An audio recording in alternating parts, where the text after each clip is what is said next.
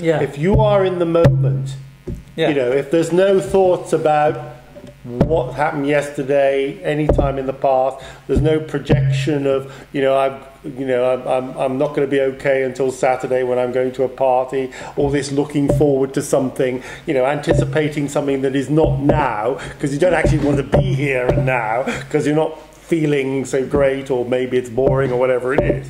But to be in that now gives us, you know, um, the opportunity to love what we're doing yeah.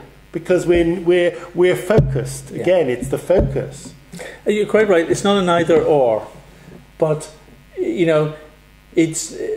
But we can't make you know we, we can't just be sitting around waiting for the the right. No, no, no, no, no, No, no. it's always using kind of the circumstances that we have, Yeah. and then we find that the circumstances naturally move in a way that is even more amazing than we would have expected. Yeah. yeah. Because I, you know, having kind of worked as a kind of the principal theological um, community where we were with a lot of students with a lot of different skills, Mm-hmm. um, and sometimes they would uh, would think I have these skills and I really should be using them in this way, and you know you look at them and think well actually you, you know you could be right. You, you certainly do seem to have you know those skills and those have been things that you've used in the past. Yeah. you might have particular it might be artistic it may be this or that.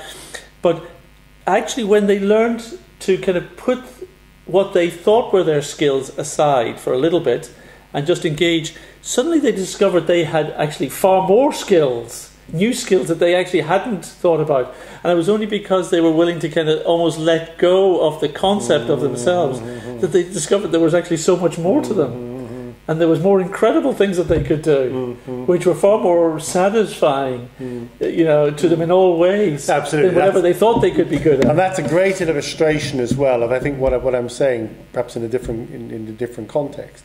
You know, if you have thoughts of what might have been or what might be instead of where you are now in this moment, that I think is what you're talking about. So you're actually being pulled away from that place where you are actually able, through focus on the present moment, to get in touch with that deeper part of you, if you like, that essence, which enables you to be in touch with whatever you love, Yeah. uh, whatever it is. You see what I'm saying? Whereas that will not come if the focus is on, oh, I wish I'd done that, you know, blah, blah, blah, or, you know, I'm not going to be okay until I get such and such a place somewhere in the future, or such and such a person, or whatever it is, such and such a job.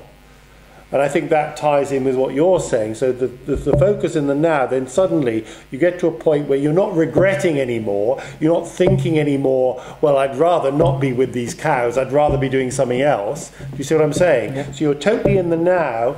That then connects us, I think, at the deeper level with the awareness that brings, if you like, the wisdom right. to the surface to enable us then to identify, yeah, this is where I am. This is my, this is my dharma. This is my purpose. This is my raison d'être. This is me. because You know, this is real presence. It is, and I think it's sometimes, you know, although we've got our own self interests, we're not omniscient in the way that we always can mentally gauge what's best for us.